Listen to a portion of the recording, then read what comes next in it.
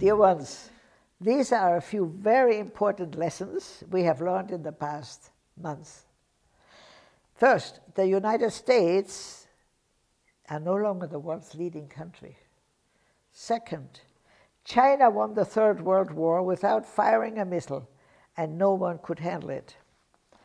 Third, Europeans are not as educated as they appear.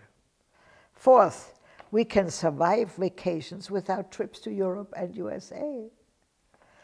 Fifth, rich people are in fact less immune to disease than the poor.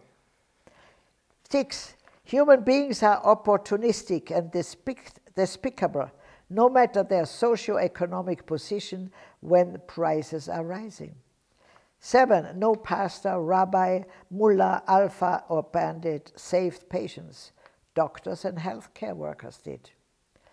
Eight, human beings are the real viruses on the planet. Nine, we sure can spend billions of dollars on the poor without red tapism. 10. Health professionals are worth more than sportspersons and entertainers.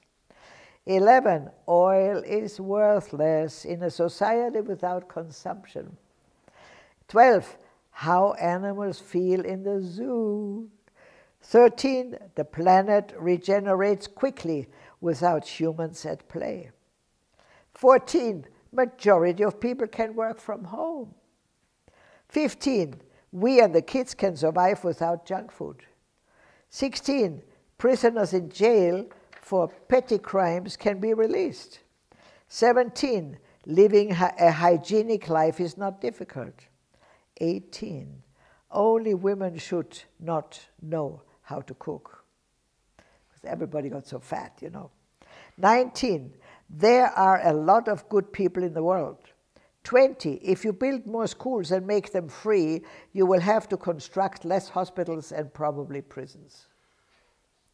21.